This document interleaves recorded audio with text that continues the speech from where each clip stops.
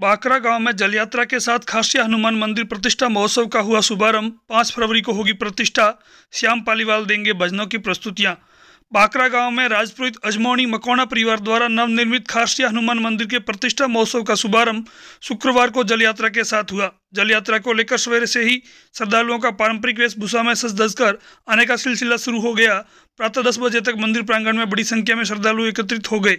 इसके बाद साधु संतों के सानिध्य में भव्य जल यात्रा प्रारंभ हुई। जल यात्रा सबसे आगे सुसज्जित अश्व पर लाभार्थी धर्म ध्वजा लिए विराजित थे।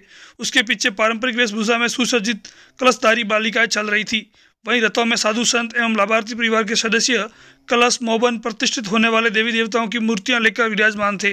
वहीं डीजे की धुन एवं भक्ति गीतों पर युवक युवतियाँ अबीर गुलाल उड़ाते हुए जयकारे लगा रहे थे। महिलाएँ मंगल गीत गा रही थी, जिसमें पूरा वातावरण धर्म में हो गया। पाँच फरवरी को होगी प्रतिष्ठा। बाकरा गाँव में नवनिर्मित खासी हनुमान मंदिर की प्रतिष्ठा पाँच फरवरी को शुभ मुहूर्त में होगी। वहीं धर्मसभा व महाप्रसादी का भी आयोजन होगा। व शाम को भजन संध्या का आयोजन होगा, जिसमें श्याम पालीवाल एंड पार्टी भजनों की प्रस्तुतियाँ देंगे।